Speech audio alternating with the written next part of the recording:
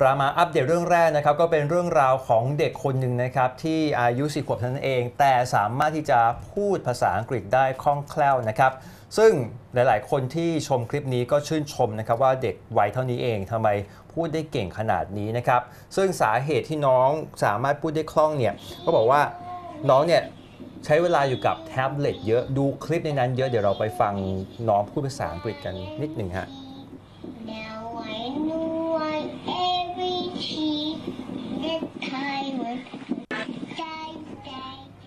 อะนี่นะครับไปตัวอย่างนิดนิดหน่อยหน่อยนะครับ คือน้องสามารถที่จะพูดได้คล่องเลยสำเนียงก็พอใช้ได้เลยนะครับเขาบอกว่าน้องเนี่ยยังไม่ได้เรียนเลยด้วยซ้ำนะครับ ส่วนใหญ่จะใช้เวลาว่างในการดูการ์ตูนภาคภาษาอังกฤษ จากโทรศัพท์มือถือ น้องฟังแล้วน้องก็พูดตามนะครับ แล้วหลายคนชื่นชมมากเลยโหเด็กตัวเท่านี้เก่งจังเลย ไม่ต้องไปเรียนโรงเรียนสามารถที่จะเรียนรู้ด้วยตัวเองได้ขนาดนี้ นะครับบางคนบอกน้องน่าจะมี IQ สูงอยู่ แต่มีเพจ Drama Addict ออกมาตั้งข้อสังเกตอีกมุมหนึ่งนะครับเขาบอกว่ากรณีที่เด็กเล็กๆในดู YouTube แล้วสามารถพูดภาษาอังกฤษได้เนี่ยเป็นเรื่องปกติ เนื่องจากเด็กเนี่ยจะเรียนรู้แล้วก็จะมีพัฒนาการจากสิ่งกระตุ้นรอบข้าง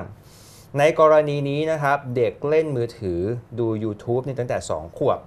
เขาก็เรียนรู้ที่จะเห็นสิ่งต่างๆ จากใน YouTube นะครับ แล้วก็เรียนเสียงขึ้นมา เดี๋ยวไปอ่าเดี๋ยวเรามีคลิปน้องนะครับ เดี๋ยวเราจะให้ดูฟังชัดๆ อีกครั้งหนึ่งนะครับว่าสิ่งที่น้องพูดน้องออกเสียงนี้เป็นยังไง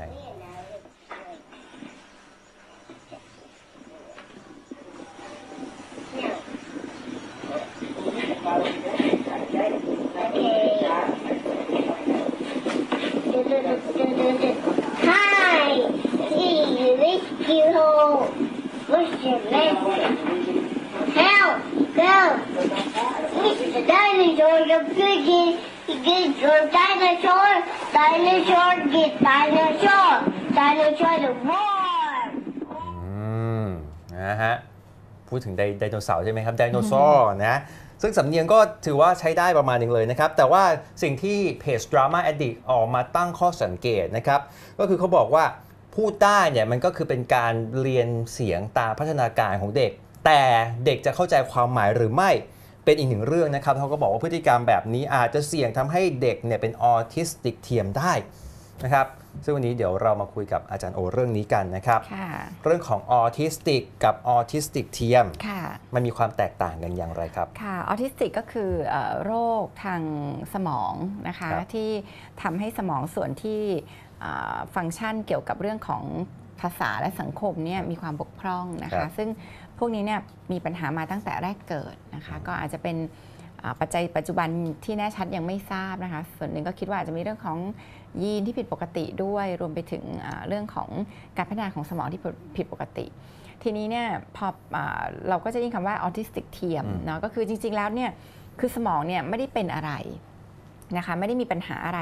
ในตั้งแต่แรกเกิด แต่ว่า จากการที่ไม่การเลี้ยงดูที่ไม่ได้ช่วยพัฒนาอืมทำให้สมองส่วนภาษาเนี่ยก็ช้า สมองส่วนสังทักษะทางสังคม หรือความเข้าใจอารมณ์ความรู้สึกเนี่ยก็ไม่พัฒนามันเด็กกลุ่มนี้ก็จะมาเป็นเด็กที่พูดช้า ไม่สบตาไม่มองหน้าอืมนะคะ ไม่มีปฏิสัมพันธ์กับคนอื่น ซึ่งเราจะเจอเยอะในเด็กยุคใหม่ที่อยู่กับหน้าจอเป็นหลักนะคะเพราะฉะนั้นอันนี้ก็ต้องเออมีความระมัดระวังเนาะอย่าไปคิดว่าโอ้โหอยู่กับหน้าจอแล้วมัน ทำให้ลูกภาษาดีมากเลย เด็กเรียนเสียงเนี่ยถ้าไปดูคลิปดีๆเนี่ยเด็กจะเรียนเสียงแบบแบบฟังแล้วจำเอา แต่อืมไม่ได้ไม่ได้สื่อสารด้วยความเข้าใจภาษา ไม่ได้สื่อสารโต้ตอบได้แบบคล่องแคล่วแบบคนที่เข้าใจตัวภาษาจริง ๆ แต่เป็นการจำอืมไดอะล็อกแล้วก็เอามาพูดเป็นภาษา ซึ่งอันเนี้ยพูดจริง ๆ ก็มีความน่าเป็นห่วงครับนะคะว่าว่าอ่าภาษาที่ เขาใช้จริงๆเนี่ยจริงๆเขาไม่ได้เข้าใจอืมแล้วพ่อแม่ก็นึกว่าโอ้โหดีจังเลยฟังคลิปแล้วดี แต่จริงๆแล้วทำให้จริงๆแล้วคือเป็นคนที่ช้าด้านภาษาด้วยซ้อืมำนะคะ หรือตะปัญหาอื่นที่ตามมาจากการดูหน้าจอในวัยที่ยังไม่เหมาะสมเนี่ยก็คือเรื่องของอาสมาธิ เด็กกลุ่มนี้เราก็จะเจอว่าสมาธิสั้นนะครัคะบอยู่กับอะไรที่นิ่งๆนานๆเนี่ยไม่ได้ แต่ว่าจะต้องอยู่กับอะไรที่ต้องเปลี่ยนแล้วก็ถูกกระตุ้นอยู่ตลอดเวลา เพราะว่าชินกับการที่อยู่กับสิ่งเราที่กระตุ้น นะคะสมองอยู่ตลอดเพราะฉะนั้นถ้าไปอยู่กับอะไรนิ่งๆเช่นอ่านหนังสือจะอยู่ไม่ค่อยได้ครับเพราะฉะนั้นพวกนี้ก็จะมีแนวโน้มของของโรคสมาธิสั้นได้อืมค่ะนะครับก็ต่อเนื่องกันนะครับที่อาจารย์โอบอกว่าเรื่องของการที่ให้เด็กเนี่ยใช้เวลามากมายอยู่กับแท็บเล็ตกับโทรศัพท์มือถือ คือพ่อแม่หลาย ๆ คนที่ตามข่าวนี้อาจจะมองแบบผิวเผินว่าอ้าวก็ดีลูกจะได้พัฒนาเรื่องของภาษาค่ะแต่สิ่งที่จะเกิดขึ้นคือความเสี่ยงที่จะเป็นออทิสติกเทียมจากการใช้เวลากับแท็บเล็ต มากๆเนี่ยมันจะเสี่ยงมากแค่ไหนคือคแท็รับบเล็ตเนี่ยมันเป็นการสื่อสารแบบทางเดียวครับก็คือสื่อที่เด็กดูอืมการ์ตูนวิดีโอ แอปอะไรต่างๆเนี่ยมันเป็นการสื่อสารแบบทางเดียว เพราะฉะนั้นเนี่ยเด็กก็มักจะไม่ได้รับการฝึกในการอืมโต้ตอบหรือตอบสนอง เด็กจึงฝึกภาษาด้วยการแค่เรียนเสียงอืมซึ่งหลายครั้งเนี่ยเด็กหลายคนก็จับไม่ทัน เพราะว่าภาพหรือเสียงพูดในอ่า หน้าจอทั้งหลายเนี่ยมันมันผ่านไปเร็ว จนไม่สามารถจะจับอะไรทันมันเด็กหลายคนก็จะพูดออกมาเป็นเหมือนภาษามนุษย์ต่างดาวอืมนะคะจนทำให้พ่อแม่เข้าใจว่าเอ๊ะเป็นออทิสติกหรือเปล่าเนาะอีกส่วนหนึ่งก็คือว่าอ่าภาษาที่ที่ที่คุณพ่อแม่ที่เข้าใจว่าเด็กได้เนี่ยจริงๆอย่างที่บอกก็คือมันเป็นจากการลอกลอกคำอืมเด็กก็จะพูดแบบเป็นประโยคประโยคแบบทื่อๆ แต่ไม่ได้เข้าใจความหมายของคำจริงๆเหมือน ร้องอาพ่อแม่หลายคนดีใจโอ้โหลูกร้อง A B C จนจบอืมแต่จริงๆมันไม่มีความหมายอะไรเลยครับเพราะเราไม่ได้ใช้ A B C ในการสื่อสารอืมนะคะเด็กที่ไม่เข้าใจและแค่จำการออกเสียงเนี่ยมันไม่มันมันไม่ได้บอกว่าภาษาดีครับ ซึ่งถ้ามุมมองอีกอีกพ่อแม่อีกอีกกลุ่มหนึ่งที่พยายามจะสอนลูกด้วยตัวเอง อาจจะยกอาช้อนขึ้นมา หาว่านี่คืออะไรแล้วลูกตอบว่าอ่าสปูนอันนั้นอ่าคือการสื่อสารที่เด็กใช่เข้าใจจริงใช่แล้วก็มีการอ่ากระตุ้นให้เด็กอืมพูดๆครับนะคะไม่ใช่แค่รับอย่างเดียวอืมเนาะเราก็อาจจะลูกอยากจะหยิบช้อนเนี่ยแทนที่เราครับจะรีบส่งให้เราก็อาจจะอืมทำอย่างที่ครับคุณก็บอกก็คือ spoon อืมอันนี้ this is spoon นั่นเด็กก็จะอ่ามีเวลาในการที่จะเขาจะลอกเรียนเสียง และเข้าใจความหมายของมันอืมไม่ใช่ลอกเฉพาะคครับซึ่ง ถ้าเด็กสามารถแค่พูดจำได้แค่2อสามคำเมื่อเทียบกับเด็กอีกคนหนึ่งที่พูดเป็นประโยคยาวๆได้แต่ไม่เข้าใจอะไรเลยำอืมอันนั้นซึ่งน่ะอาจจะไม่ดีอืมค่ะครับก็เพราะฉะนั้น